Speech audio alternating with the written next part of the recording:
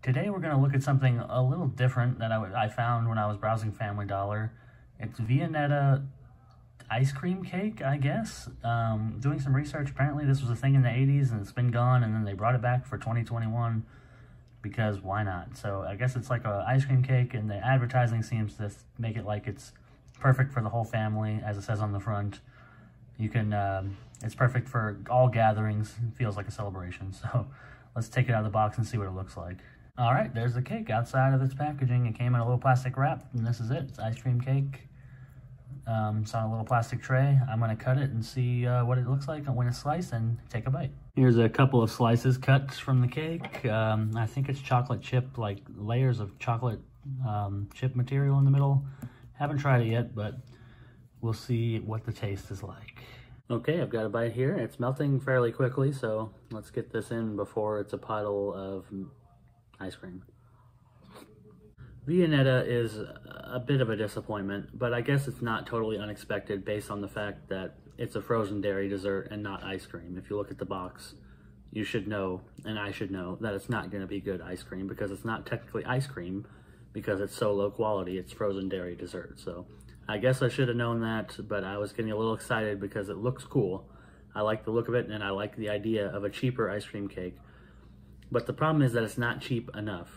I don't. I won't necessarily get mad at the fact that it's it's crappy ice cream. It's cheap ice cream. I've had plenty of cheap ice cream in my life. I don't hate it. I prefer obviously better ice cream, but I don't hate hate cheap ice cream. I've had to eat it many times, and it's better than nothing. The problem is that the price does not align with that. Even though it is cheaper than like an ice cream cake, a real ice cream cake, it's not cheap enough to to be worth the novelty. Because I paid $5.99 for this. It's 22 ounces of ice cream. You can get a really, really good gallon of ice cream for, for six bucks, where I am at least.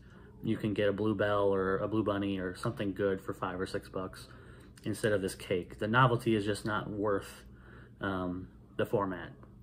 Uh, even if you want an ice cream cake just, just for fun, or if it's like for a kid or something, maybe, but it's just not it's just not worth it at $5.99 when you're getting this ice cream that you know you can buy a gallon of this ice cream probably for two dollars at whatever or you can get it at the dollar store you know? I appreciate the attempt by good humor i guess to bring this product back. I don't know what it was like in the 80s apparently i was looking it up. It was made with real ice cream back then so it was probably a lot better.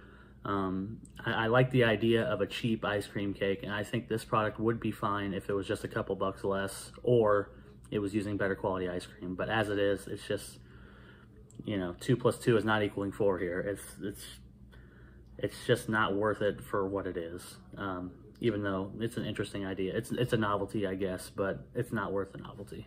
So Viennetta ice cream cake vanilla flavor. There's a chocolate one. Didn't get that, but I'm sure it's not any better. Viennetta vanilla is going to get a two from me. I really don't see any reason you should buy this unless it's like a clearance item or something. Otherwise, there's no reason to pay the extra money for low quality ice cream just to get it in an interesting format. Just look at a picture of it and say, hey, that's cool, and then don't buy it because it's not good. It's just cheapo ice cream. And if you've had cheapo ice cream before, you know what it is, and you should definitely just buy some good ice cream in a gallon. See you next time.